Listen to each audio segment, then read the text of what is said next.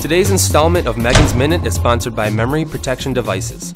Researchers at Rice University have developed a flexible material with nanoporous nickel fluoride electrodes laid around a solid electrolyte to deliver battery-like supercapacitor performance that combines the best qualities of high-energy battery and a high-powered supercapacitor with the lithium found in commercial batteries today. This electrochemical capacitor is about a hundredth of an inch thick, but can be scaled up for devices either by increasing the size or adding layers and can hold 76% of its capacity over 10,000 charge-discharge cycles and 1,000 bending cycles. For more information, click on the link below, and for more power fun, come back tomorrow.